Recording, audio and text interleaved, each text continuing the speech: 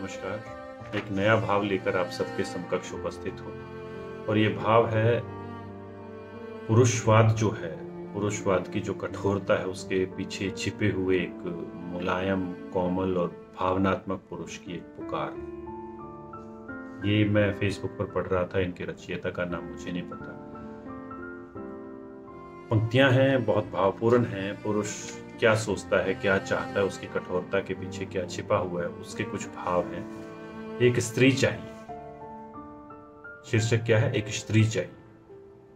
एक स्त्री चाहिए जिसके सम, समक्ष मैं सिर्फ़ तन से नहीं मन से भी नग्न हो सकूँ। एक स्त्री चाहिए जिसके समक्ष मैं सिर्फ़ तन से ही नहीं मन से भी नग्न हो सकूँ। उतार फेंकूं सारे मुखोटे, उतार फेंकूं सारे मुखोटे। भुला सकूँ पुरुष होने का दम, भुला सकूँ पुरुष होने का दम। दम्भ मात्र है, घमंडी है, दिखावा है। उसको भुला सकने की बात कह रहा है। भुला सकूँ पुरुष होने का दम, रो सकूँ जार जार, जिसे कह सकूँ पुरुष हूँ मगर, पीड़ा अनुभव करता हूँ। पुरुष हूँ मगर, पीड़ा अनुभव करता हूँ। चाहता हूँ बिल्कुल माँ की तरह, तुम फेर दो हाथ बालों पर, गालों पर। चाहता हूँ बिल्कुल माँ की तरह, तुम फेर दो हाथ बालों पर, गालों पर। पुरुष होते हुए भी कांधा चाहिए कभी कभी मुझे।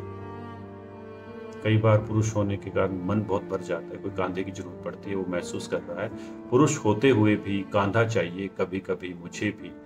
सिर्फ़ चमकता बदन ही नहीं एक स्त्री चाहिए। सिर्फ़ चमकता बदन ही नहीं, एक स्त्री चाहिए जिसे प्रेम करते हुए पूजा भी कर सकूँ। जिसे प्रेम करते हुए पूजा भी कर सकूँ, वासना से नहीं, श्रद्धा से।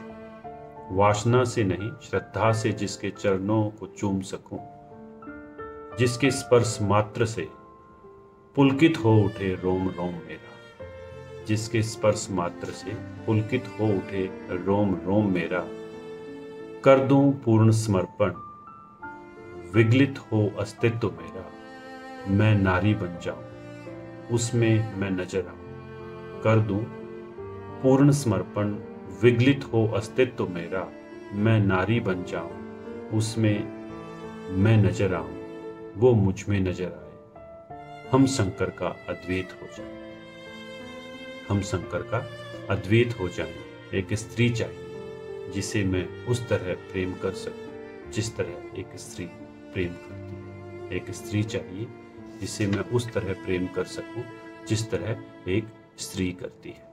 नमस्कार।